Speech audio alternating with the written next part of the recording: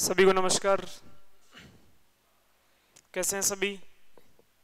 Rajasthan current affairs की classes चला रहे थे हम। उसी में, उसी को हम आगे बढ़ाएँगे। 2024 का करंट अफेयर्स था। तो आज से हम थोड़ा सा कुछ न्यूज़ लेंगे, न्यूज़पेपर के माध्यम से। फिर उसको हम डिटेल से, जैसा हम नोट्स में लिखेंगे, उसके अकॉर्डिंग आगे बढ़ेंगे। तो जैसे आज के लिए, पिछले दो महीने की न्यूज़ वगैरह हैं ये, जनवरी, फरवरी और मार्च तक की कंप्लीट, ठीक है? उसमें से आज एक सबसे इम्पोर्टेंट न्यूज़ मुझे जो लगी, वो ये है कि राजस्थान में R S R D C एक ऑर्गेनाइजेशन है, एक संगठन है, उसका अध्यक्ष बना दिया एक तो। एक तो क्या नियुक्त कर दिया गया? चेयरमैन नियुक्त कर दिया गया और एक बना दिया गया उपाध्यक्ष। ठीक है? तीन बातें हम देखेंगे इसमें कि इसका पूरा नाम क्या है? और इसके चेयरमैन कौन है? और इसके उपाध्यक्ष कौन है? और ये क्या काम करते हैं? क्या काम करते हैं? ठीक है? तो जैसा कि फ़ोटो आप देख रहे हैं, ये राजस्थान के ही उप मुख्यमंत्री महोदया हैं। उनको इस, इनका चेयरमैन नियुक्त किया गया है। उप मुख्यमंत्री दिया कुमारी को। इसका पूरा नाम देखें। इसका पूरा नाम है Rajasthan Rajasthan state Rajasthan state road development road development corporation corporation. तो नाम से ही पता चल रहा होगा कि रोड से संबंधित, रोड से संबंधित, रोड डेवलपमेंट से संबंधित एक निगम है, एक कॉरपोरेशन है। अलग अलग प्रकार के अलग अलग डिपार्टमेंट में अलग अलग निगम होते हैं, वो उसी सेक्टर में काम करते हैं। कि राजस्थान में जो भी सड़क सरकार को फैसला करने में समय लग गया, कहने का मतलब जो सड़क परियोजनाएँ हैं, जो कार्य क्या होंगे इनके? इस निगम का कार्य क्या होगा? सड़क परियोजनाएँ संचालित हैं। इन परियोजनाओं को समय पर पूरा करने का प्रयास इस निगम द्वारा किया जाता है। तो पहली न्यूज़, पहला जो करंट अफेयर्स है, इतना लिखना है कि R S, R D C, इसका पूरा नाम लिखना है, Rajasthan state road development corporation. ये कारपोरेशन, ये निगम, यह एक निगम है। यह एक निगम है, कारपोरेशन है, एक संगठन है, राजस्थान में।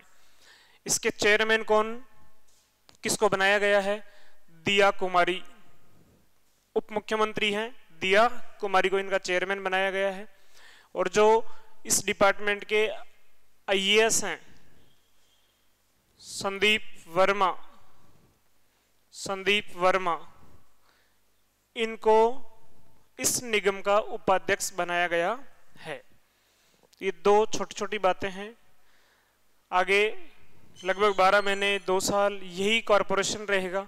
सड़क परियोजनाओं का क्रियान्वयन करने में इसका योगदान रहेगा। इसके चेयरमैन ध्यान रखना है, उपाध्यक्ष ध्यान रखना है और ये क्या काम करेगा। ठीक है? इसका स्क्रीनशॉट ले सकते हैं। इसको लिखना है आपको। उसके बाद में हम आगे बढ़ते हैं। दूसरी न्यूज़ दूसरा जो करंट अफेयर्स है, एक शब्द लिख रहा हूँ मैं, पेनोरमा। पेनोरमा। ये क्या होते हैं? इस समय इस सरकार के द्वारा पिछली कांग्रेस सरकार के द्वारा, उससे पीछे बीजेपी गवर्नमेंट के द्वारा भी राजस्थान में अलग अलग जो व्यक्तित्व हैं, चर्चित स्थान हैं, चर्चित लोग देवी, देवताएँ, देवता हैं, उन सभी का क्या बनाया जा रहा है? पेनोरमा। पेनोरमा समझे हम कि पेनोरमा क्या है? वास्तव में पेनोरमा है एक स्मारक। क्या है? स्मारक है कि जिस स्थान पर कोई व्यक्ति प्रसिद्ध है, उसी स्थान पर उस व्यक्ति की मूर्ति बनाएँगे। उसके जीवन की पूरी परिघटनाओं को, पूरी घटनाओं को चित्रित रूप से अंकित किया जाएगा। तो वास्तव में ये पेनोरमा क्या है? स्मारक है। हाल ही में सरकार ने 12 स्थानों पर, कितने स्थानों पर? 12 स्थानों पर पेनोरमा स्मारक संग्रहालय निर्माण एवं विकास कार्यों की सौगात दी, दी है। हमें सिर्फ़ इतना ही याद करना है कि कौन सा पेनोरमा कहाँ पे बना है। सिर्फ़ इतना ही ध्यान रखना है। पहला फ़र्स्ट नंबर करौली ज़िले के महावीर जी में श्री महावीर जी का पेनोरमा। इसको थोड़ा बड़ा बना देता हूँ मैं दिखा देता हूँ। सभी को दिख जाएगा अब तो।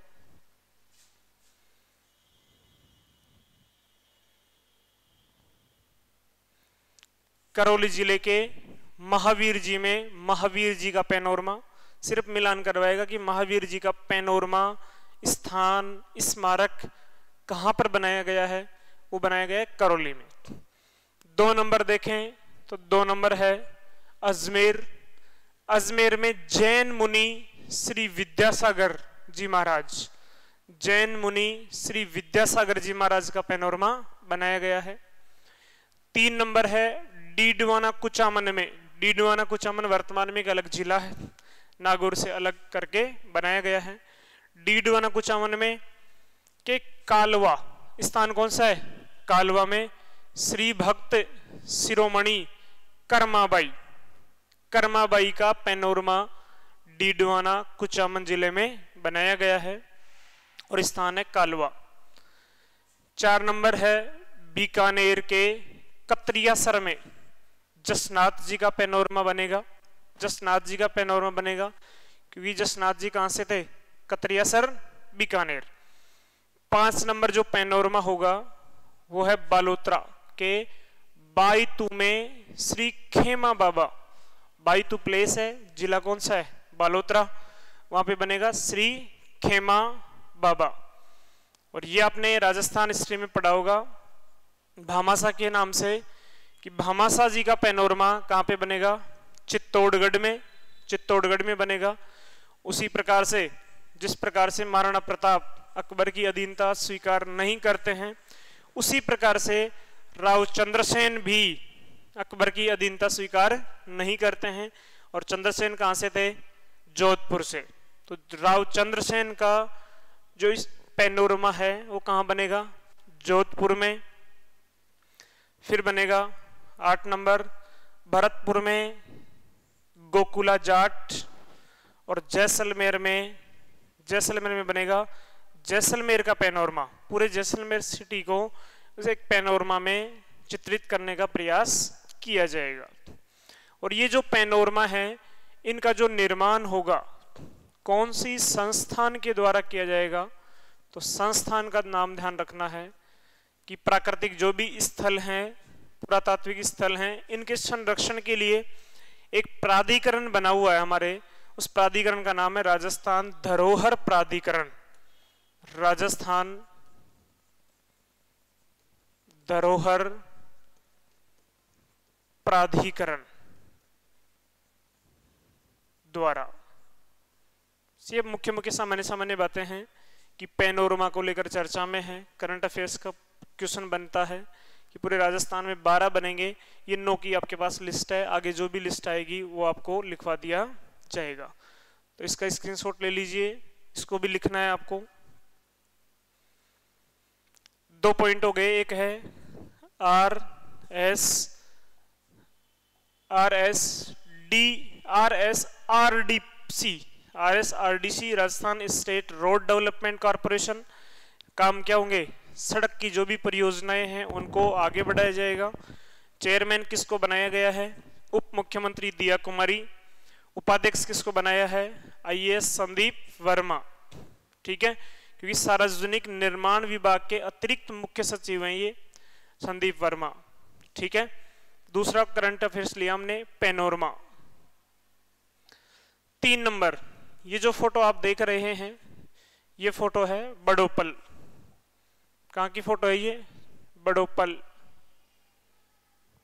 इसके बारे में बता देता हूँ ये चर्चा में रहता है। राजस्थान ज्योग्राफी का है वैसे देखा जाए तो। ये बड़ोपल स्थान है। बड़ोपल क्या है? स्थान है। कौन से ज़िले में है ये? हनुमानगढ़ में है। हनुमानगढ़ में है। अभी इसका फ़ोटो लिया गया। हनुमानगढ़ में बड़ोपल जो स्थान है वो चर, चर्चा में रहता है, प्रसिद्ध है सेम की समस्या के लिए। सेम की समस्या के लिए। ठीक है? अब आप कहेंगे सेम की समस्या क्या है? वैसे जो गंगानगर, हनुमानगढ़, ये वास्तव में रेगिस्तानी ज़िले हैं, मरुस्थली ज़िले हैं। लेकिन फिर भी यहाँ पे गंग नहर इंदिरा गांधी नहर के द्वारा, विशेष रूप से इंदिरा गांधी नहर के द्वारा पानी की आपूर्ति हुई यहाँ पे। और पानी की आपूर्ति होने के कारण इस स्थान में नीचे तो क्या है? चूने की चट्टाने। चूने की चट्टाने हैं। और ये जो पानी है, ये ऊपर दिखाई देता है। और यहाँ पे बन गया दलदली क्षेत्र। दलदली क्षेत्र बन गया। दलदली क्षेत्र का मतलब जल की अधिकता। जल की अधिकता। और इसे ही क्या कहते हैं? सेम की समस्या। सेम की समस्या। तो राजस्थान में सबसे ज़्यादा सेम की समस्या कहाँ पर है? हनुमानगढ़ में। स्थान पूछे तो कौन सा आएगा? बड़ोपल। ठीक है? क्यों होती है? क्योंकि ज़मीन के नीचे चूने की चट्टाने हैं। पानी नीचे अवशोषित नहीं हो पाता है। तो पानी ऊपर रहता है। दलदली क्षेत्र का निर्माण होगा। जल की अधिकता बनेगी। सर्वाधिक योगदान है, वो है आईजीएनपी इंदिरा गांधी नहर परियोजना। इंदिरा गांधी नहर परियोजना के कारण। ठीक है? अब इसका समाधान क्या हो सकता है?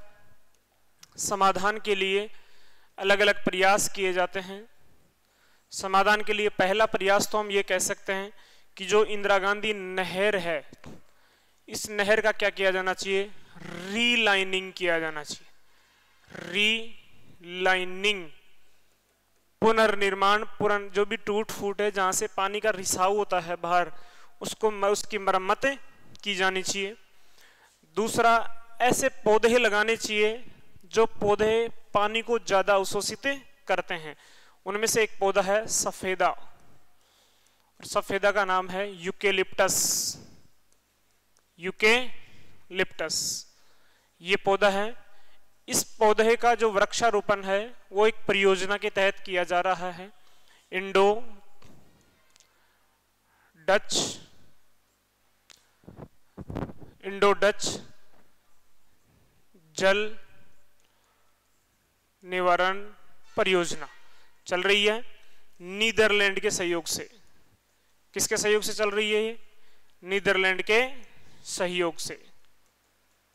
और ये परियोजना स्टार्ट हुई थी 2003 में, ये ध्यान रखना है। तो चर्चा में करंट में, अखबार में न्यूज़ में चर्चा में रहा बड़ोपल स्थान। बड़ोपल कहाँ पर है? हनुमानगढ़ में। किस लिए चर्चा में रहा? सर्वाधिक क्या है यहाँ पे? सेम की समस्या। सर्वाधिक सेम की समस्या है। अब सेम की समस्या क्या है? कि भूमि के नीचे चूने की चट्टाने हैं, पानी नीचे अवशोषित नहीं होता है तो भूमि के ऊपर क्या बन जाएगा? दलदली क्षेत्र, जल की अधिकता वाला जो क्षेत्र बनेगा, उसे ही सेम की समस्या कहते हैं। सर्वाधिक योगदान है इंदिरा गांधी नहर परियोजना का। ठीक है? ये अगला टॉपिक है हमारा। इसको अच्छे से नोट्स में लिखना है। उसके बाद में चलते हैं। नेक्स्ट ये वेरी वेरी इंपॉर्टेंट टॉपिक है। इसको पढ़ने के साथ साथ याद ही करना है, समझना ही है। ये ध्यान रखना है।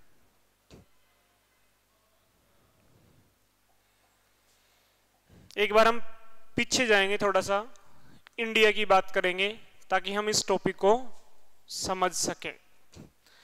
भारत में, आज़ाद भारत में अलग अलग योजना बनाने के लिए, जैसे आपने सुना होगा, पंचवर्षीय योजनाएँ।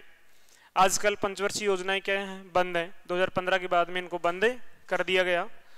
पंचवर्षीय योजना बनाने का जो कार्य था, वो 1950 में योजना आयोग को दिया गया। योजना आयोग की योजना आयोग के द्वारा क्या बनाई जाएँगी? पंचवर्षीय योजनाएँ कि भारत का किस प्रकार से विकास करें, भारत किस प्रकार से आगे बढ़ेगा। सामाजिक, आर्थिक जो प्लान है, योग मतलब विजन है भारत का, वो क्या होगा? तो योजना एक के द्वारा, जिसकी स्थापना 1950 में की गई, पंचवर्षीय योजनाएँ बनाई जाती थी। 2014 में फ़र्स्ट मोदी गवर्नमेंट आने के बाद में इस योजना आयोग को क्या कर दिया गया? बंद कर दिया गया। और 2015 में 2015 में नीति आयोग बना दिया गया। क्या बना दिया गया? नीति आयोग। प्रेजेंट की बात करें कि भारत में जो पॉलिसी निर्माता कमीशन है, नीति निर्माता जो आयोग है, वो कौन सा है? नीति आयोग है। कब बना? 2015 में। किसके स्थान पर बना? योजना आयोग के स्थान पर बनाया गया। अब नीति आयोग का फुल फॉर्म देखें तो ये है नेशनल एन आई, पूरा नाम इसका N I T I. National institution national institution transformation India ये इसका पूरा नाम है। ठीक है? ये तो देश में नीति बनाने का काम करेगा प्लान देगा, कुछ रिपोर्ट पेश करता है, लेकिन राजस्थान में भी ऐसा है क्या? बिल्कुल है। राजस्थान में है मुख्यमंत्री राजस्थान आर्थिक सुधार सलाहकार परिषद। क्या बना हुआ है? मुख्यमंत्री राजस्थान आर्थिक सुधार सलाहकार परिषद। चूँकि वर्तमान में राजस्थान में क्या है? BJP government. केंद्र में कौन सी है? बीजेपी गवर्नमेंट है। तो इसी से जुड़ा हुआ एक शब्द बना दिया कि हम इसको बंद करके इसके स्थान पर क्या बनाएँगे? रीति का गठन करेंगे। किसका गठन किया जाएगा? रीति का गठन किया जाएगा। तो राजस्थान में R I, Rajasthan institute for transformation and innovation. RITI का गठन किया जाएगा और रीति का पूरा नाम रहेगा Rajasthan institute for transformation and innovation innovation ये इसका पूरा नाम रहेगा। जिस प्रकार से नीति आयोग में अध्यक्ष होता है पीएम। इसमें अध्यक्ष कौन होता है? पीएम। ठीक है? उसी प्रकार से इसका जो अध्यक्ष होगा, वो कौन होगा? सीएम। ठीक है? और एक बनाया जाएगा उपाध्यक्ष। उपाध्यक्ष बनाया जाएगा। ठीक है? उपाध्यक्ष कोई भी सीनियर आईएएस अधिकारी किसी को भी नियुक्त किया जा सकता है। तो अभी तक हमारे सामने इतना ही करंट अफेयर्स है कि जिस प्रकार से केंद्र सरकार में नीति आयोग है, उसी प्रकार से राजस्थान में क्या बनेगा? रीति आयोग बनेगा। ये योजना आयोग के स्थान पे बनाया गया था। ये बनेगा मुख्यमंत्री राजस्थान आर्थिक सुधार सलाहकार परिषद के स्थान पर। किसके स्थान पे बनेगा ये? मुख्यमंत्री, आर्थिक, सुधार, सलाहकार, परिषद के स्थान पर। परिषद के स्थान पर बनेगा। इसमें जो अध्यक्ष होता है वो प्रधानमंत्री, इसमें अध्यक्ष रहेगा रहेंगे मुख्यमंत्री, इसमें भी एक उपाध्यक्ष और इसमें भी एक उपाध्यक्ष। तो ये ध्यान रखना थोड़ा। जिस दिन उपाध्यक्ष की नियुक्ति की जाएगी, उस दिन वापस से करंट अफेयर्स में इसके बारे में डिटेल बात करेंगे कि उपाध्यक्ष किसे बनाया गया है। ठीक है? तो ये बातें हैं, ये इंडिया की है और ये राजस्थान की है। उसके बाद में देखते हैं आगे कि justice M M Shrivastava Rajasthan के बयालीसवें क्या बने हैं? मुख्य न्यायाधीश। ठीक है? कम से कम ध्यान रहना चाहिए कि राजस्थान हाई कोर्ट में मुख्य न्यायाधीश कौन है। न्यायाधीश की संख्या काफ़ी है, लेकिन मुख्य न्यायाधीश का नाम भी हमें पता होना चाहिए। वो है मनिंदर मोहन श्रीवास्तव। कौन से नंबर पे? बयालीस पे। अब तक कितने हो गए? बयालीस। बस ये ध्यान रखना है। फिर आगे, राजेंद्र प्रसाद गुप्ता। जिस प्रकार से महान्यायवादी का नाम सुना होगा आपने। केंद्र सरकार का सबसे बड़ा विधि सलाहकार होता है ये। विधि अधिकारी कह सकते हैं। उसी प्रकार राज्यों में राज्यों में कौन होता है? राज्यों में होता है महाधिवक्ता। राज्यों में कौन होगा? महाधिवक्ता। ठीक है? जैसे मैं लिखूं कि अनुच्छेद अनुच्छेद, इधर है 76 इधर है 165 76 में क्या लिखा हुआ है? कि केंद्र का सर्वोच्च विधि, कानूनी सलाहकार कानूनी सलाहकार, ठीक है? इसमें क्या लिखा हुआ है? राज्य का सर्वोच्च कानूनी सलाहकार, विधि अधिकारी भी कह सकते हैं। ठीक है? तो इसे कहते हैं महान्यायवादी महान्यायवादी, और इसे कहते हैं महाधी वक्ता तो नई सरकार आती है, उनके जो भी विश्वसनीय व्यक्ति होते हैं, उनको स्वयं नियुक्त करती है। तो इस सरकार ने भजनलाल शर्मा सरकार ने महाधिवक्ता के रूप में किसे नियुक्त किया है? राजेंद्र प्रसाद गुप्ता को। किसे नियुक्त किया गया है? राजेंद्र प्रसाद गुप्ता। इससे पहले गहलोत सरकार में कौन थे? महेंद्र सिंह सिंघवी। मतलब सरकार के स्तर पर जो भी कानूनी एप्लीकेशन होंगी कोर्ट में, उनका जो प्रतिनिधि है, प्रतिनिधित्व कौन करेंगे? राजेंद्र प्रसाद गुप्ता। तो ये ध्यान रखना है। उसके बाद में मरु महोत्सव नाम से ही पता चल रहा है, कहाँ पे आयोजित किया गया? पोकरण जैसलमेर में कब आयोजित किया गया? 21 से 24 फरवरी। चार ऑप्शन होंगे कि मरु महोत्सव कहाँ पे? जैसलमेर, बीकानेर, बाड़मेर, जोधपुर। तो क्या बताना है आपको? जैसलमेर। ठीक है? मरु महोत्सव फरवरी में। कहाँ पर? पोकरण जैसलमेर में। एक है माही महोत्सव। माही नदी कहाँ से बहती है? कहाँ प्रवेश करती है? बांसवाड़ा में। तो ये महोत्सव कहाँ पर बांसवाड़ा में 15 से 17 फरवरी 2024 को। बस ये डेट याद नहीं रहे, महीना याद रखना है और प्लेस याद रखना है। जानकारी है कि बांसवाड़ा को क्या कहते हैं? सौ द्वीपों का शहर सिटी ऑफ़ हंड्रेड आइलैंड ये वेरी इंपॉर्टेंट है, बहुत ही ज़्यादा मोस्ट है। वैसे राजस्थान ज्योग्राफी में से पढ़ाते भी हैं कि रामगढ़ बारा में कौन से ज़िले की बात है ये? बारा ज़िले में रामगढ़ नामक एक झील है और उसका निर्माण हुआ है उल्का पिंडों के गिरने से, बहुत समय पहले। और वर्तमान में ये क्रेटर झील है ये। कैसी झील है? क्रेटर झील है। इसे दुनिया की 200वीं